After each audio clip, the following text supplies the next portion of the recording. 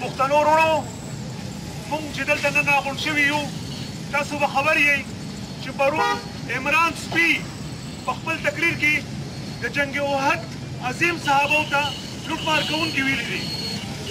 مونږ ټولو مسلمانانو باندې دا فرض جوړیږي چې د دې غندنه وکړو په جنګ احد کې حضرت عمر حضرت ابوبکر صدیق حضرت عثمان او حضرت علی کرم الله وجه غوندي عظیم صحابه کرام موجود وو او دې عظیم صحابه کرامو ته بیګا عمران سپی په خپل تقریر کې لوټ مار کوونکي ویلي دي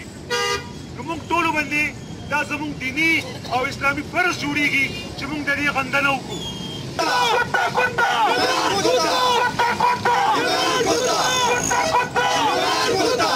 عمران سپي تیرښت په خپل تقریر کې د غزوه احد صحابه کرامو ته لوټ مار کوونکي ویلي دي دې سپي ته دومره پته نشته چې په مال غنیمت راټولوونکو او په لوټ مار کوونکو کې څه فرق وي په غزوه کې د کفارو د تېښتې نه پس په میدان پاتې شوی وسله وغیره راټولول مال غنیمت دی نه چې لوټ مار. لوټ مار کوونکي غله وي او لوټ مار کوونکو ته غله ویل کیږي. عمران سپي د غزوه احد غوندې عظیم صحابه کرامو ته لوټ مار کوونکي، یې نکلي ویلي دي، اې د عمران سپي ملګرو! که په تاسو کې لږه هم مسلماني وي، نو د عمران سپي د دې خبرې په چار مخالفت وکړئ او عمران سپي دې ته مجبور کړئ چې په دې ذلیل حرکت د میډیا په وړاندې بخښنه وغواړي.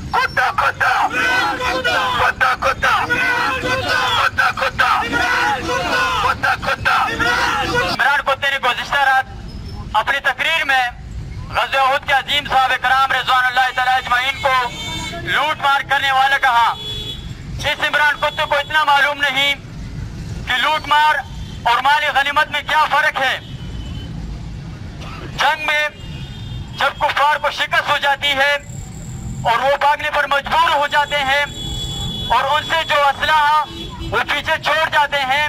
انہیں مال غنیمت کہتے ہیں نہ کہ لوٹ مار لوٹ مار چوری کو کہا جاتا ہے اور لوٹ مار کرنے والوں کو چور کہا جاتا ہے اس عمران کتے نے وزرہود کے عظیم صاحب اکرام رضوان اللہ تعالیٰ اجمعین کو لوٹ مار کرنے والے یعنی کہ چھوڑ کہا اے عمران کتے کے حامیوں اگر تمہارے اندر زره برابر بی ایمانی غیرت هی مسلمانی غیرت هی تو اس عمران پته کی سره عام مخالفت کرو اور اسه اس بات پی مجبور کرو که وو میډیا کی سامنه اپنی اس غلیظ حرکت پی معافی مانګه کتا کتا عمران کتا کتا کتا عمران کتا کتا کتا عمران کتا.